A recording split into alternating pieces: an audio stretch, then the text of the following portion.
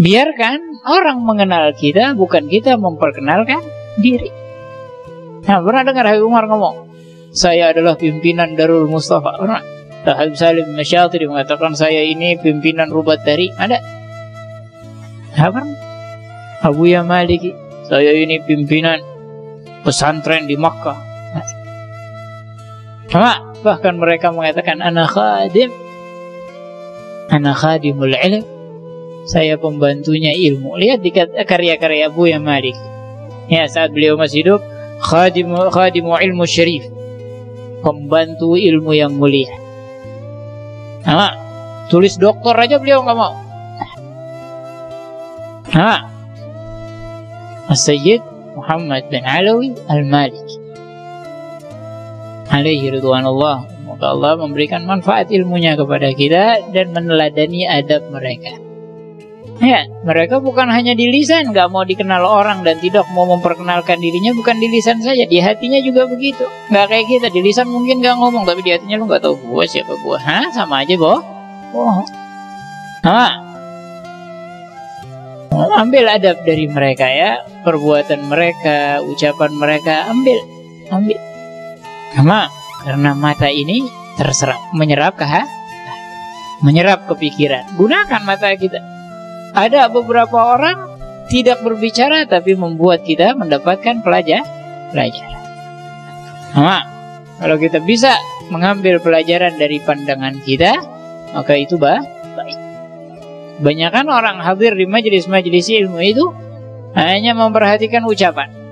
Oh begini, oh begitu. Jarang yang memperhatikan pandangan. Sama. Padahal pandangan itu penting.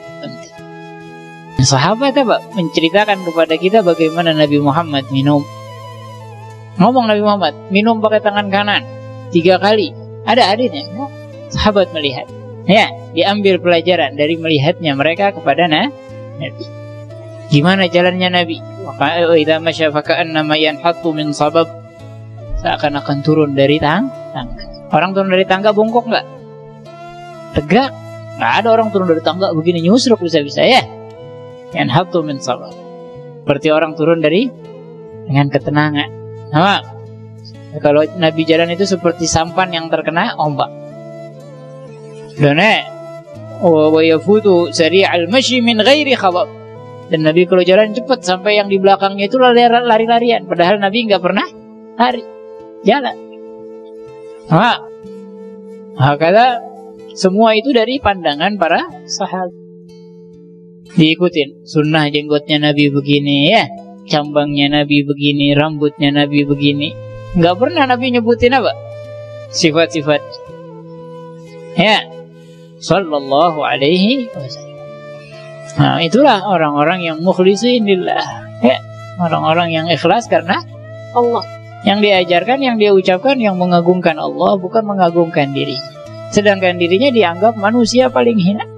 Alaihim ridwan Allah ربي فانفعنا ببركتهم واهدنا الحسنى بحرمتهم وأمتنا في طريقتهم ومعافاة من الفتن يا رب بهم وبآلهم عجل بالنصر وبالفرج هكذا Makanya Habib Ali mengatakan Bakat man gad ra'ahum au ra'a man ra'ahum Beruntung orang yang melihat mereka Melihat dengan apa? Dengan pelajaran Melihat dengan ta'zim Melihat dengan pandangan yang luas Ya, beruntung orang yang melihat mereka atau melihat orang yang pernah melihat mereka. Ah, ada? Keberuntungan yang besar. Nah, tabi'i mulia karena melihat sahabat. Kenapa melihat sahabat jadi mulia? Karena sahabat melihat Nabi.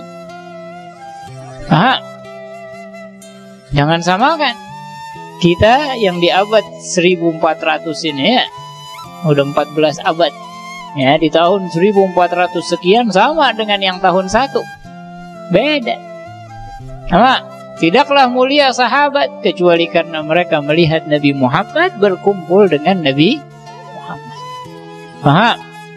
Bahkan paling rendahnya derajat sahabat lebih mulia daripada paling mulianya tabi'in. Nah, karena? Pandangan dan duduk bersama Nabi sallallahu alaihi